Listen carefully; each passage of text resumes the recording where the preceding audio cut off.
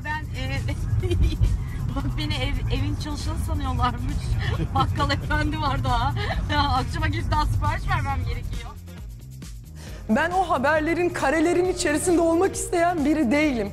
Benim onurum, benim gururum, benim vicdanım, benim şerefim yaptığım her şeyden çok daha önemli. Çünkü ben babamdan bunu öğrendim.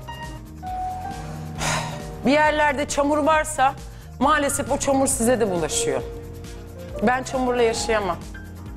Yaşayamam.